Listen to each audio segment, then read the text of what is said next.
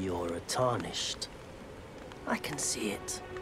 But I can also see that you're not after my throat. Then why not purchase a little something? I am Kalé, purveyor of fine goods.